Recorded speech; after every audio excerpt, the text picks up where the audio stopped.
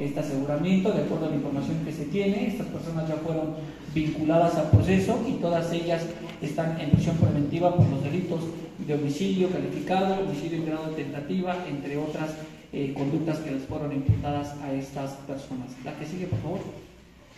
Continuando con esta misma dinámica que ya hemos presentado, eh, la actividad que se tiene por parte de la Policía Estatal a través del mando coordinado que se lleva en la Subsecretaría de Coordinación y Operación Policial, aunado al despliegue operativo que se tiene con los distintos puntos de revisión, con las distintas estrategias, el resultado que se comparte en este momento es el siguiente.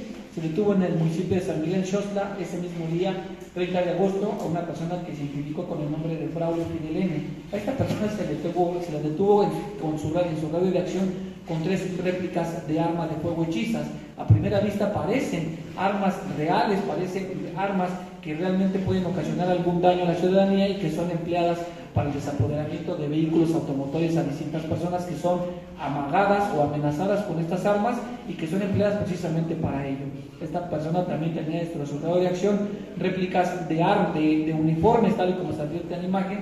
Él portaba uniformes que pudieran advertirse como una eh, usurpación de funciones de acuerdo a una actividad distinta de la cual no tiene los permisos ni las actas correspondientes.